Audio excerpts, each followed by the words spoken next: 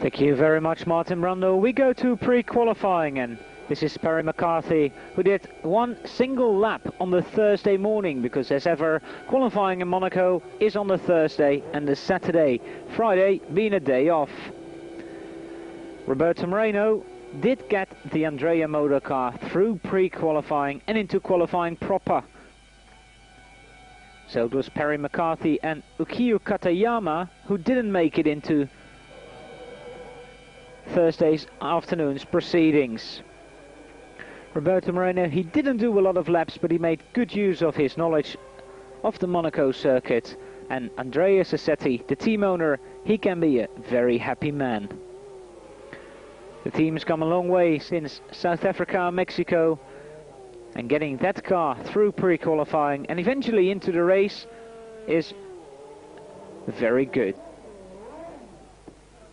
Again, Roberto Moreno and it's 9 o'clock on Thursday morning and it's all smiles at the Andrea Moda pits. A little problem with the gearbox, it leaked some oil but it didn't stop Roberto from pre-qualifying.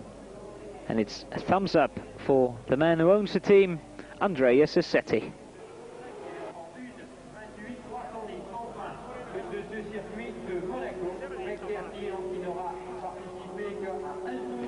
And of course, for the team and its driver, Roberto Moreno, it was very important to get through pre-qualifying because just packing up 9 o'clock on the first day of qualifying is not really what you want. I think uh, that changed a whole of a lot in the team because you get more enthusiasm, you get things going uh, much better now. We've been struggling, we, um, we've been cutting very short uh, everything in order to get here. So uh, it was essential that we did pre-qualify in order to um, continue the year.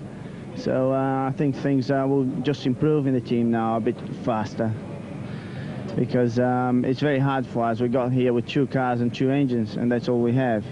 So um, it, we've got to play with this for the race. Uh, but everybody has enthusiasm. They're working very hard the whole night trying to put the cars together. So that's the strongest bit in our team, the people that are so keen to do it. And um, with a bit of luck, we'll make it.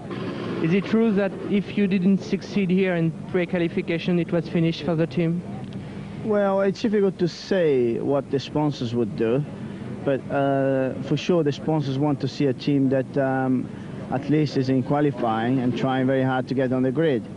You know, it's very hard for sponsors to justify sponsoring a team that only does, does an hour. Um, so this will help us uh, in order to raise a bit more money and improve the team.